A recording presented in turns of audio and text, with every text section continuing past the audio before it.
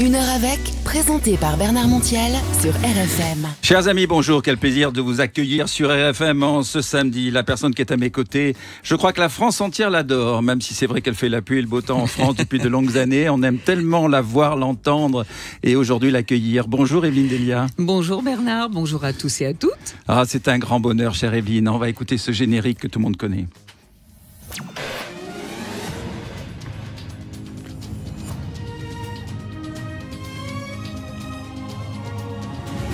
Bonjour à tous, on ne regarde pas tout de suite les prévisions météo d'Evelyne Delia. C'est bien Bernard Montiel sur RFM. Bonjour, voilà, voilà c'est Jean-Pierre Pernaud que nous avons eu le plaisir d'accueillir plusieurs fois Eh et, oui. qui m'a fait cette jolie intro d'émission.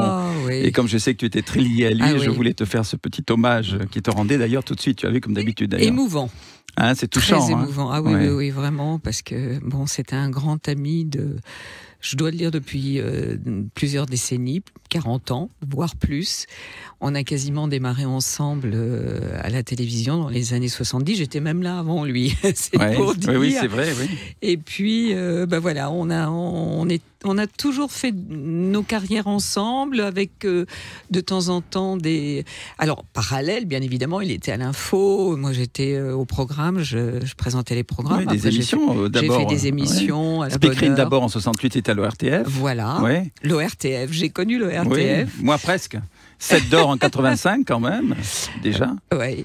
Et puis, oui, tout à fait. Oui, tu as eu Et- 7 d'or. Ouais, j'ai eu Il y un a eu l'émission à la bonne heure en 82. jusqu'en- euh, Il y a eu aussi euh, le, le Grand Prix de l'Eurovision que tu as présenté. Ça, c'est rigolo. Exactement, oui, oui. euh, et c'était euh, ça, c'était une bonne expérience aussi.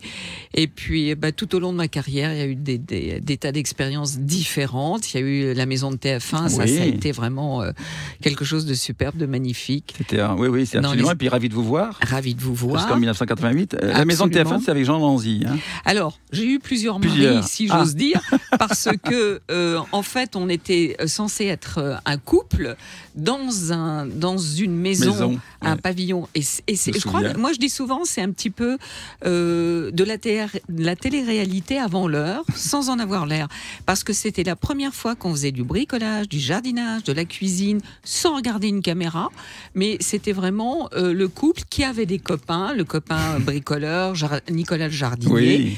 Jean-Pierre, Jean-Pierre Pernaud, qui lui faisait euh, le copain qui savait tout sur les voyages, sur les régions aussi déjà. Et euh, ça, c'est une magnifique expérience. Alors, il y a eu Jean, Jean Lanzy, il y a eu Michel Touré aussi, Bien sûr. et Bernard Gollet. Ah J'ai oui. eu trois maris dans cette émission. Bernard Gollet qui présentait La Une est à vous juste avant moi. Absolument. Parce qu'après, j'ai eu le plaisir de présenter cette émission le samedi après-midi sur TF1. Voilà, tout à fait. Voilà. Et là, on va parler aujourd'hui, on a le plaisir de te recevoir, chère Evelyne Delia, également pour le plus beau marché de France, qui est une très très belle aventure que vous menez. C'est la saison 5, Oui. où il faut choisir le plus beau marché de France. C'est sur, euh, d'ailleurs, vous pouvez déjà taper et voter. Je sais, alors j'ai écouté aujourd'hui, vous êtes à peu près à 300 000 euh, Oui, votants déjà. Oui, c'est énorme. La dernière fois, vous avez atteint 3,5 millions l'année dernière, c'est Mhm. énorme quand même. Oui, hein. c'est énorme. Ça a de plus en plus de succès. Et puis, il faut, faut savoir que c'est Jean-Pierre, Jean-Pierre Pernaud, Qui l'a créé. qui l'a créé, qui était à l'initiative. Euh, c'était euh, Jean-Pierre, c'était quelqu'un qui avait le sens non seulement de l'information, mais en plus euh, de ce que recherchait le public. Il savait exactement combien de fois nous on parlait même. Même en dehors du 13h, euh, j'ai le souvenir de Jean-Pierre, des émissions qui se, qui se lançaient, pas forcément sur TF1, mais sur d'autres chaînes. Il me disait ça, tu vas voir, ça va pas marcher. Et il avait toujours raison. Ça, ça va faire, mais un, un succès extraordinaire. Il avait vraiment le sens de l'antenne, de l'info. euh, De la vraie France. Ah oui, de la vraie France. Oui, c'est vrai. Evelyne Delia est notre invitée aujourd'hui. On est très heureux d'accueillir. Euh, vous allez me dire si, si tu aimes qu'on dise Miss Météo ou pas. Je crois pas. Je crois pas que tu aimes ça. Non, Miss Météo, Non. ça, non. ça Oui, voilà, j'étais sûr que tu n'aimais pas. Oui, ça veut hein, rien non. dire. Allez, Céline Dion, on ne change pas. Vous êtes bien sur RFM. On a le plaisir d'accueillir Evelyne Delia en ce samedi. Alors, on évoquait évidemment notre ami Jean-Pierre Pernaud, qui nous manque beaucoup. C'est lui qui avait créé ce plus beau marché de France en 2018. C'était une initiative de proximité qui déclenchait une belle participation des villes et des régions avec beaucoup d'enthousiasme. Ça, c'était sympa. Ça suscitait vraiment un vif engouement des Français, oui. je dois dire. Et, et puis, pour atteindre jusqu'à 3,5 millions de votes. Alors, il y a eu les victoires, je le dis, j'ai tout noté, de Sanary-sur-Mer en 2018. Oui. Il y a eu Montbrison en 2019, c'est dans la Loire, je crois, oui, je suis sûr même. Et le marché de Dieppe, coup de cœur de 2020. Et l'année dernière, c'était le marché d'Étaples-sur-Mer, c'est dans le Pas-de-Calais. Exactement. Alors, ce qu'il faut savoir, c'est que le marché, bah, c'est la vie, hein, c'est la vie de tous les jours. Et là aussi, euh, bah, ça avait fait tilt, hein, ce- cette idée de Jean-Pierre. Et, euh, et, et ça continue. Et je sais que dans les régions, les gens vraiment se battent pour, euh, pour élire leur, leur marché. Oui, et quand on regarde d'ailleurs la fin du JT de 13h, on voit les gens qui se, qui se lient, ils sont là, allez, Ah votez oui. pour nous, votez pour nous, Oui, allez-y, c'est votre plus beau marché. Et moi, personnellement, j'adore ça, les marchés comme ça. Moi, j'y vais beaucoup, j'y vais souvent.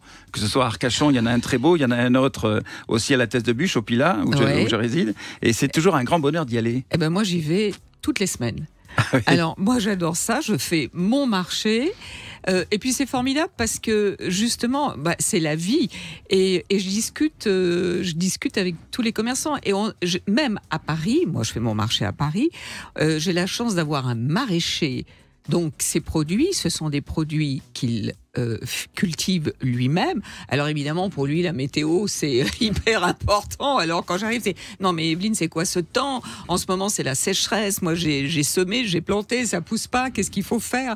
Et, et c'est là où c'est où c'est formidable. Et puis, euh, euh, l'ostréiculteur, il vient de l'île de Léron, euh, le- la marchande de fromage d'Au- d'Auvergne, et tout. Et, et c'est le marché, c'est formidable.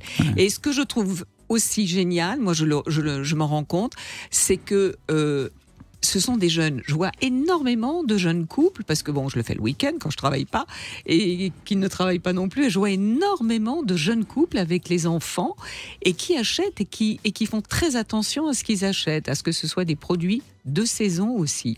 Oui, deux saisons, c'est bien, c'est vrai, et direct producteur aussi. que Ça, Exactement. c'est important aussi. Cette notion est très importante. On a le plaisir d'accueillir Evelyne Delia aujourd'hui. Euh, Coldplay, Viva la vida, c'est sur RFM. Le plaisir d'accueillir Evelyne Delia aujourd'hui en ce samedi. Vraiment, Evelyne, je suis très content que tu sois là. Je t'aime beaucoup. De toute façon, tous les Français t'aiment beaucoup. Dès qu'on parle de toi. D'ailleurs, il y a cet engouement extraordinaire avec les personnes qui présentent la météo. Ça a toujours été, vous faites des records d'audience, donc tous les Français vous connaissent. Il y a une grande notoriété.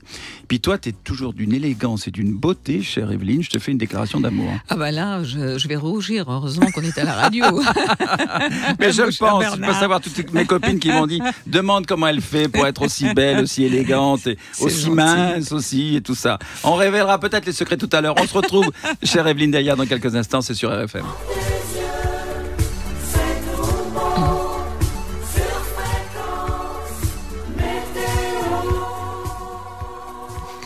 oui, sa fréquence météo, c'est Evelyne Delia, notre invitée.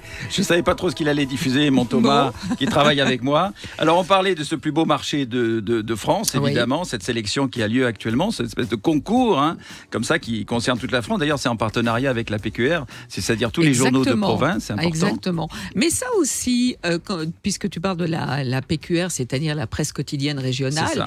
ça, ça a été aussi une initiative de Jean-Pierre. Quand il a commencé les 13 heures, il a dit, mais attendez, on a sur place des journalistes qui connaissent leur région, qui savent ce dont il faut parler, avec qui il faut parler. Et c'est lui qui a développé justement euh, euh, ce partenariat avec euh, la presse quotidienne régionale. qui est essentiel. Alors, je rappelle que ce concours pour élire le plus beau marché de votre ville, les amis, ça a démarré le 27 avril. Alors, Mhm. et puis il y a eu une première phase de vote avec les journaux régionaux qu'on vient d'évoquer. Il y a eu 191 marchés en lice. hein. Ça, c'est important de le dire. Il va en rester 24 euh, qui sont dans la course. Donc, vous pouvez voter jusqu'au 22 juin. Donc, je le rappelle, c'est le plus beau marché de France.fr. Si vous voulez voter, je vous invite à le faire évidemment pour défendre votre région. Et alors, cette fois-ci, c'est qu'un peu nouveau, c'est ce super jury que vous formez, Oui, tout à chère fait. Evelyne. Alors, un super jury, euh, c'est-à-dire que il va y avoir, euh, à partir de ces 24 marchés qui restent, 5 marchés qui vont être C'est sélectionnés. ça. Et nous allons avoir la lourde tâche de, Oui. euh, alors non pas de dire quel sera le, le- le plus beau marché parmi ces cinq, mais d'avoir une partie du vote, c'est-à-dire notre vote va rentrer pour 30%. Alors, qui euh, est Avec, fait- avec toi, les trois Voilà. Alors, il y a, en fait, il y a trois euh, téléspectateurs. Oui, absolument. Donc, euh, ils demandent, ils proposent de participer. Je crois qu'ils seront euh, tirés au sort. C'est ça. Et puis, il y a avec moi Laurent Mariotte, Bien sûr. Laurent, Denis Brognard. Absolument. Voilà, et voilà. moi-même. Voilà, et le 23 juin, les six membres de ce super jury donc, euh, que tu formes avec euh, nos amis vont voter sur les cinq marchés euh, en tête. Et la semaine du 27 juin, ce sera la révélation du vainqueur. Voilà. Ça va être important, parce que chaque fois, c'est important attendu. pour les villes. C'est hyper important. Ils le disent d'ailleurs avec le recul, hein, ce que ça peut leur apporter. Et puis c'est une fierté aussi pour les commerçants. Ce sont des métiers qui ne sont pas toujours faciles. Bon, puis même avec ce qu'on a connu, avec le, Covid, hein, euh, bah voilà, hein, ça a été très compliqué pour eux aussi. Et donc, ce sont des coups de pouce formidables. Voilà. Et mérités. Et mérité, c'est vrai, on les salue tous, et bravo à vous tous en tout cas, et d'y participer. Allez, on poursuit en musique, notre invité c'est Evelyne Delia, The Weekend, Blinding Lights, vous êtes bien sur RFM. Les amis, le bonheur d'accueillir Evelyne Delia. Evelyne Delia, j'ai une petite surprise pour toi. Allons bon. Je ne sais pas si tu t'en souviens, écoute ça, tu chantes merveilleusement bien. Passer notre vie au soleil, ne jamais travailler, quelle merveille. C'est pas moi, ça Alors je t'explique. C'est une émission à laquelle je participais et je m'en souvenais aussi que tu étais dedans avec Simone Garnier, Fabienne Egal, là là. mais oui, Evelyne Leclerc, et vous chantiez tout ensemble Les Petites Femmes des Îles. C'était le cadeau de Noël, la comédie musicale de Dorothée pour TF1. D'accord, parce que moi je cherchais par rapport à la météo. Non, ça. non, non, c'était pas la météo. Ah oui, tu t'en oui, souviens pas. C'était drôle, vous étiez toute mignonne avec des petites robes comme ça, c'était très léger. Ah ben, J'avais participé de temps en temps euh, aux émissions de c'était sympa. Dorothée aussi. euh, ça aussi, c'était une sacrée époque. Oui, c'était une sacrée époque. Ah et moi oui. aussi, on me voit aussi avec Patrick Roy, avec toute l'équipe de Ouais, l'époque, ouais. Christian Morin et tout ça, où je chantais aussi dans l'émission. C'était pas le meilleur souvenir pour moi. Mais en tout cas, de travailler avec Dorothée, c'était plutôt sympathique. Non, mais ma voix était cachée par les autres parce que je chante euh, faux, comme une casserole. C'est ce que dit Jean-Pierre Pernaut. Oui. Hein, il disait, je sais pas, quand vous chantiez, il te faisait exprès de te faire chanter Voilà. après les compétitions de golf à Saint-Jean-de-Luz. Bah voilà. Ah, c'est ça. oui, absolument.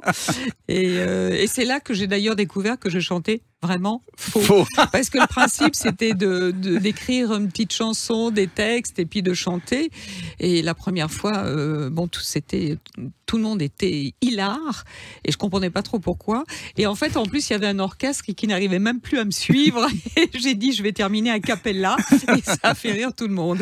Non, ça c'était drôle. On parlera aussi tout à l'heure de, de ton engagement auprès de la planète et de la, du réchauffement climatique. Oui. Ça, tu es très impliqué aussi, on va en parler aussi, évidemment. Et pour le moment, on poursuit en musique avec Jennifer au soleil, forcément. C'est sur RFM. monde émerveillé. Là, c'est pas Evelyne Delia qui chante. Ah non. Ah. Le matin au marché. Pam, pam. Voici 100 francs, du thym, de la garrigue, de, de safran ou un paquet de figues. Voulez-vous pas vrai Un joli ou bien quel co Voici le de la Marie-Charlotte, le joli poisson de la Marie-Charlotte. Ah, J'adore. Alors ça, Evelyne Delia, ça va te poursuivre. Parce que ça, je l'enregistre, je le garde. Quand tu reviendras me voir Et dans quelques temps. par-dessus tout ça, on vous donne en étrenne l'accent qui se promène et qui n'en finit pas. J'adore, c'est un cadeau, Evelyne. C'est gentil, Evelyne Delia. Voilà. Franchement, c'est très touchant. C'est le plus beau marché de France, évidemment. C'est sur TF1. C'est un petit clin d'œil comme ça que je voulais faire. Absolument. Voilà. C'est un joli Mais tu clin vois, tu d'œil. chantes bien. Euh, J'étais bien accompagnée là par Euh, Gilbert Bécaud, Gilbert Bécaud, quand oui, c'est hein. pas mal. C'est un pas mal. duo. C'est un duo. C'est un duo Mais euh, il le faisait, je crois, avec, euh, avec Brigitte Bardot d'ailleurs. Il me Oui, semble qu'ils avaient oui. enregistré. Ben oui, Hein à l'époque ils étaient très proches. Oui, oui, oui, c'est pour ça. Oui, oui. Allez, le blind test avec euh, notre ami Evelyne Delia. Faut trouver les titres. Ça, je l'ai chanté une fois à Saint-Jean-de-Luz. Ah oui Golfing under the rain, it's wonderful to be. C'est génial parce que je ne demande pas de chanter, mais je suis ravi qu'elle le fasse. Et Tu en plus, chanter, je suis sûre qu'il finalement va pas vraiment pleuvoir pendant. J'adore chanter, mais je vais te raconter une petite anecdote. Quand j'étais euh, à l'école, à l'école communale, il y avait le prof de chant. Et alors, euh, il nous est chanté, et moi, j'adorais chanter, et je chantais fort. Et il me disait, Delia, taisez-vous, vous entraînez toute la classe. et j'étais euh, vexée, je n'avais pas le droit de chanter. C'est Jane Kelly. Elle se rattrape aujourd'hui, on a de la chance. Chantant sous la pluie 1952. C'est une très belle déclaration d'amour à la pluie parce qu'il Ah est tellement content qu'il pleuve que même avec son parapluie, il s'en fout. C'est chante. magnifique quand il est avec les pieds dans, dans dans la rigole et qui tape dans les J'ai flaques. toujours fait ça quand j'étais gosse. Moi, je continue à le faire d'ailleurs. Mais je ne devrais pas le dire, parce que ça fait à mon âge, ça fait bizarre. Allez, deuxième titre.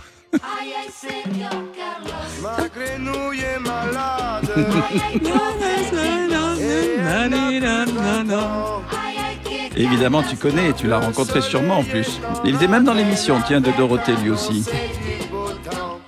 C'est Carlos. Voilà, Un fait Seigneur. Météo.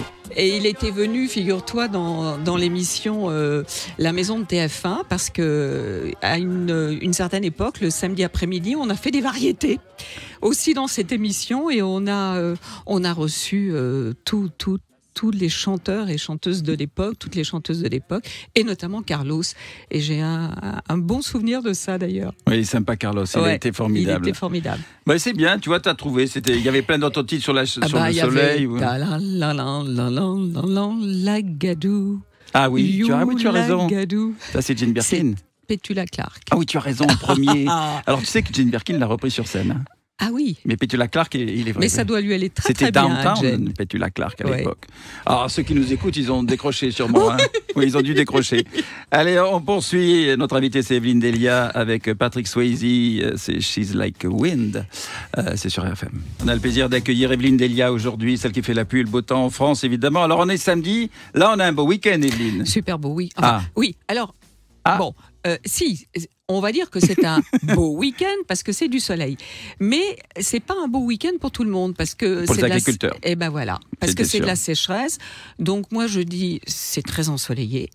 Mais le, le beau temps pour certains ne l'est pas pour d'autres. Et surtout en ce moment.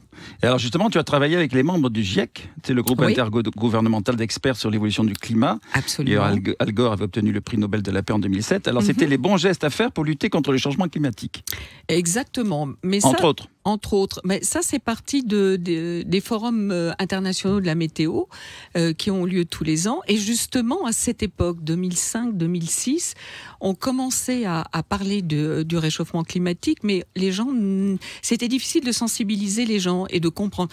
Euh, quand, je dis attendez demain, il va faire 5 degrés de plus qu'aujourd'hui, et quand on leur dit en 100 ans les températures vont augmenter d'un degré et demi ou de deux, maintenant c'est plus c'est compliqué pour euh, et donc c'est- et donc c'est parti en fait de là et avec justement notamment les membres du GIEC, il y avait Jean Jouzel, il y avait euh, été les voir en leur disant ben voilà moi euh, j'ai un bulletin météo, il y a plusieurs millions de téléspectateurs tous les soirs, j'ai envie de faire quelque chose, d'être le maillon entre vous et les téléspectateurs, mais il faut que ce soit quelque chose de concret, c'est-à-dire pas dire bon bah ça se réchauffe, mais dire qu'est-ce qu'on peut faire.